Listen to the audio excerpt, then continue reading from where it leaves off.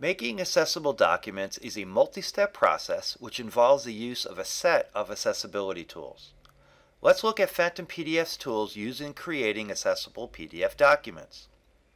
The first step is to check whether the PDF is tagged. To do this, you can use either the Tags tool, commonly known as Tag Tree Pane, or Full Check tools of Phantom PDF. To open the Tags tool, go to the View tab select Navigation Panel, then Tags. Now that the Tag tool appears on the left side panel, click over it to access the document structure tags, which is the basis to make a PDF accessible. In this example, there are no tags available.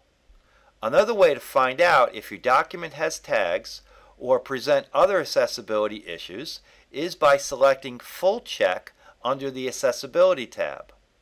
This tool provides a checklist of all the accessibility issues found in a document. Once you run the report, it opens up the left side panel and from there you can view the issues that need to be fixed.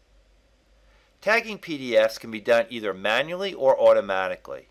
If you want to do it manually, you can use tools like the tags or content from the navigation panel or the area reading order tool which is an exclusive feature of Foxit Phantom PDF, or the Read Order tool via the Accessibility tab.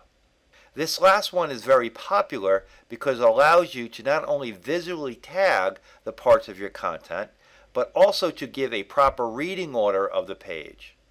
To tag a PDF automatically, you can use tools like AutoTag Document or Action Wizard for a full accessibility making process.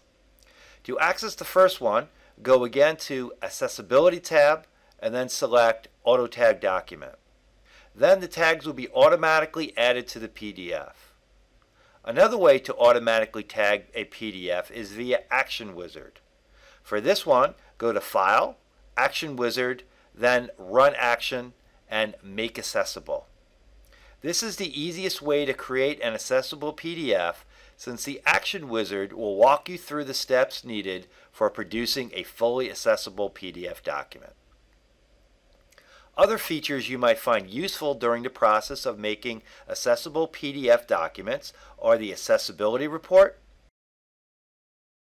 and the Set Alternative Text for Figures. The latter is commonly used when you want to manually add alternative text to the figures included in a document. You can find all these features under the Accessibility tab of Foxit Phantom PDF. Now that you have the main accessibility tools, you can start creating more accessible PDF documents.